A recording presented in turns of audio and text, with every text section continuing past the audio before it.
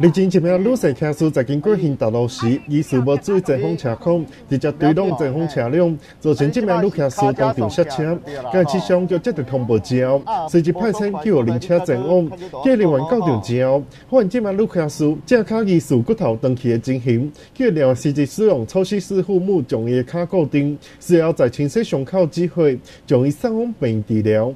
根据了解，这名女驾驶当时经过兴达路，你当时拄好是下班时间。驾驶疑似无注意前方车况，直接对撞前车。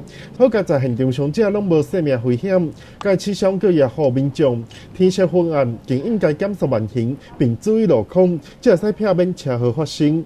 新闻调民界市采访报道。